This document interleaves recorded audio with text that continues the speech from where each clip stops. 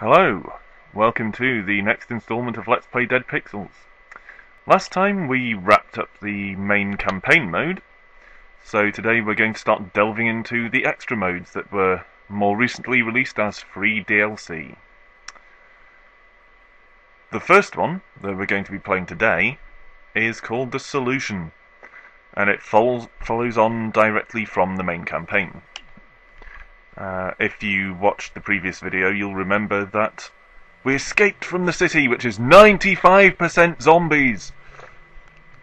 And then we got kind of cut to a scene at the White House, which uh, faded out. Now we learn what's actually happening there, how the government is responding to this crisis. Because, as we all know, the government in a zombie apocalypse never ever does the right thing. So here we are, the solution.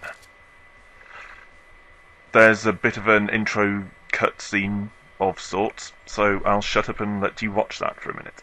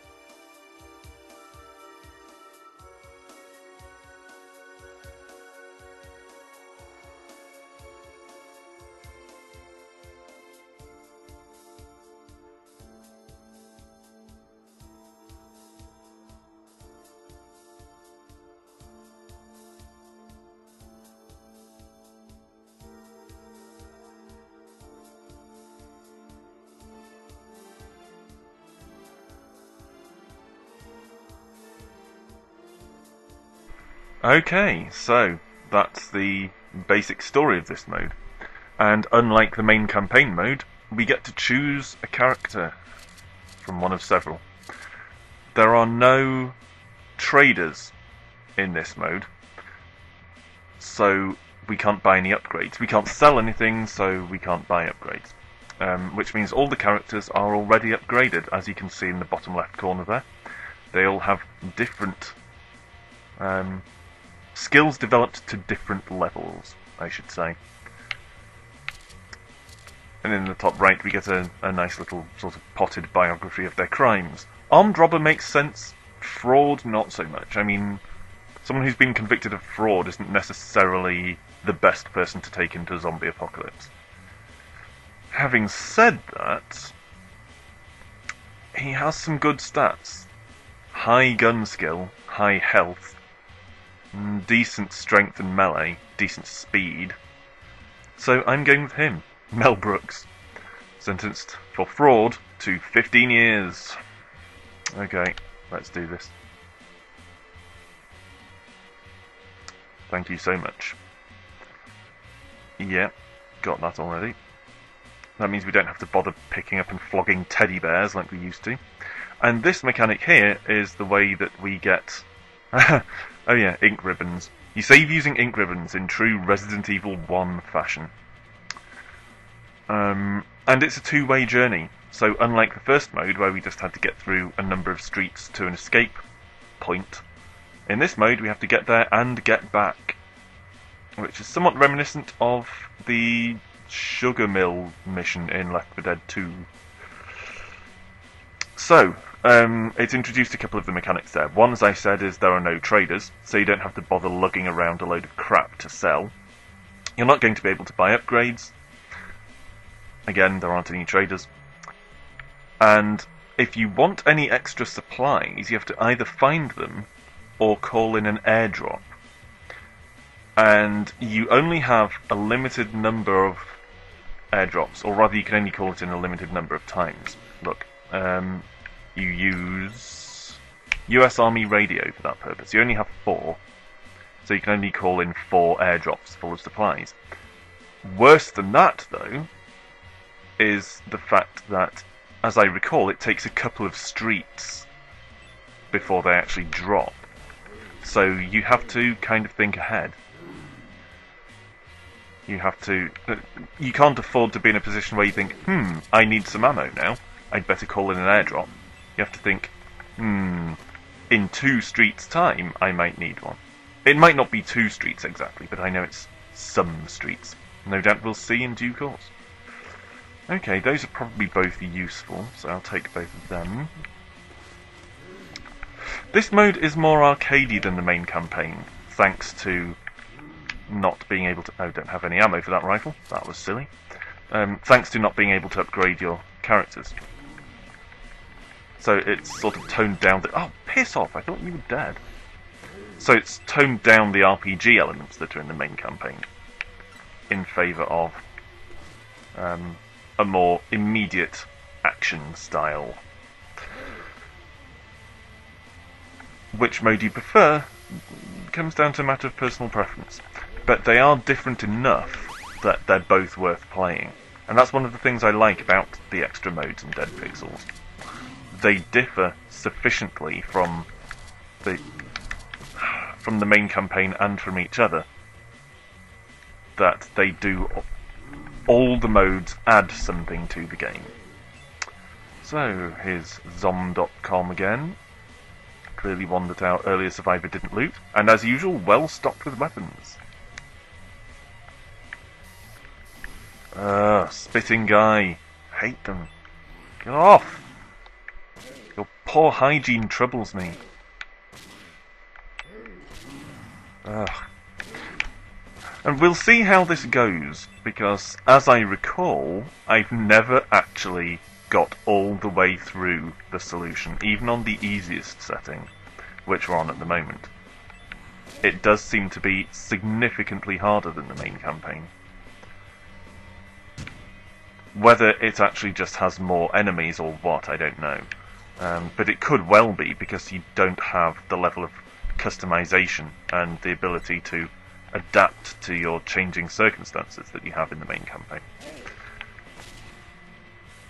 Uh, flare, not really. Don't want to weigh myself down because we still have the encumbrance problem that's built into the game's mechanics. So although we, uh, hmm, although we can still pick things up, there's no point picking up anything that's just a valuable or bit of tat because we're not going to be able to get any money for them and they will just slow us down. No point picking up duplicate weapons either for the same reason. So I think at this point, even though I don't desperately need to, I think I'm going to call in an airdrop simply because I want to show off this mechanic while I'm here. And I don't want to forget. So, here we go. Let's, uh, no, I don't want to equip it. Oh well. Use it! Next drop point is one street east. Okay. Wait, what? Ah, okay, we, we choose our stuff. Okay. I'm not that familiar with this mode, with it being a much newer introduction than the main campaign. So actually, I'm not going to call it in, but hopefully you see kind of how it works here. You buy as though from a shop, using money, but you can't sell anything, you can't buy upgrades from the airdrop, and it arrives one street away from your current location. So let's cancel that order, don't want to waste it.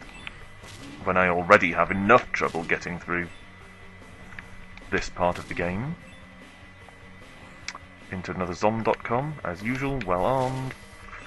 Clearly these people were very intent on defending their IT supplies from any possible danger. Uh, starting to get busy. We remember that from the main campaign. Oh, get off me! I'm really having a bad time today dodging this spit.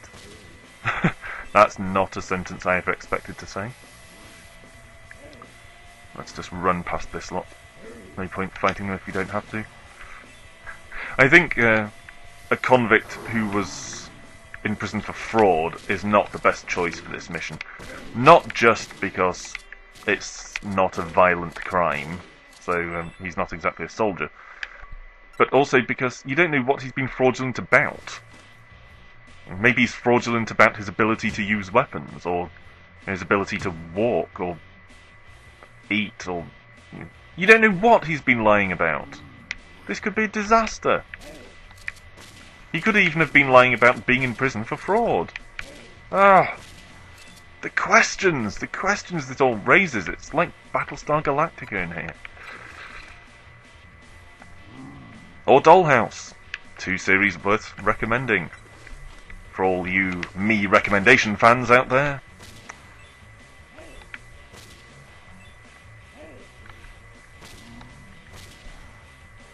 Okay. I think in this mode, because there aren't any traders and we save using ink ribbons rather than just a save menu, I think we can save at any time. So, since we're hitting 10 minutes now, I will probably get to the end of this street and then call it. Because, as I've said multiple times before, I don't want to end up with mammoth epic videos that you have to spend all day sitting through.